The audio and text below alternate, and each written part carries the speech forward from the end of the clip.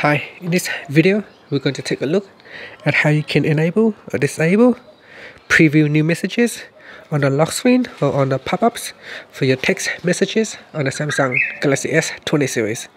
The first tap on the home key to go back to your home screen and then tap on your text messaging app.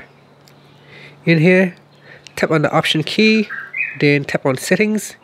In settings tap on notifications and then you go down to the in-app notification settings. So tap on that. Then make sure you tap on preview new messages. So when I turn it on and if I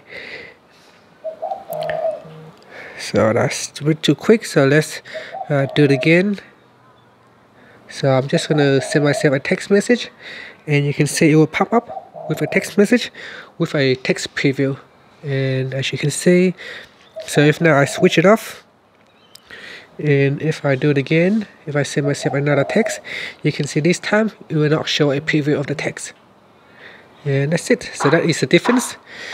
And that's how you can turn it on off. Finally you can tap on the home key to go back to your home screen. Thank you for watching this video. Please subscribe to my channel for more videos